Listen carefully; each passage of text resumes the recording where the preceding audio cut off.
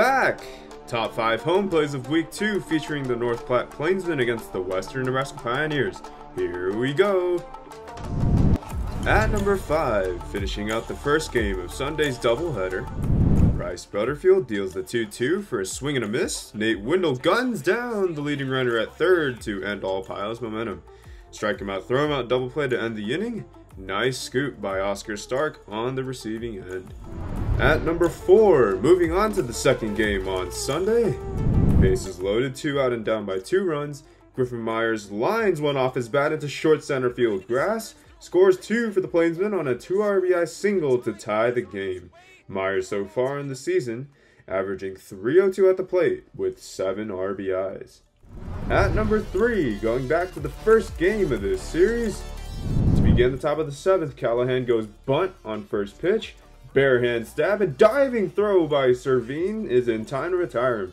Servine, who had a 365, 13 home run, 54 RBI spring season for Texas A&M Kingsville, was named Division II CCA All-American Honors this past week. At number two, remaining in the first game with no outs in the top of the eighth inning, one run deficit, runner in scoring position, sacrifice bunt is popped up towards the screen. And watching it flagged down by, with a sliding grab by Connor Flag out of frame. Flagg, a versatile player with experience in left field this season for the North Platte Plainsmen, makes that spectacular grab on the defensive end for top play number two. And at number one, Bryce Zimmer steals home plate as called by John Willis. Take it away, John. Off for home, as now he's caught between third and home plate. He's now in a rundown. He is going to be safe. Wow, what a play by Bryce. One more look at that one. A robbery of home plate illegal in 49 states, but Nebraska on display. As Zimmer dives in safely for the Plainsmen to take a two-run lead.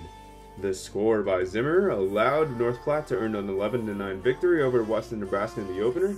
They will next hit the road to face the Hastings Sodbusters tomorrow. That does it for top 5 plays of Week 2.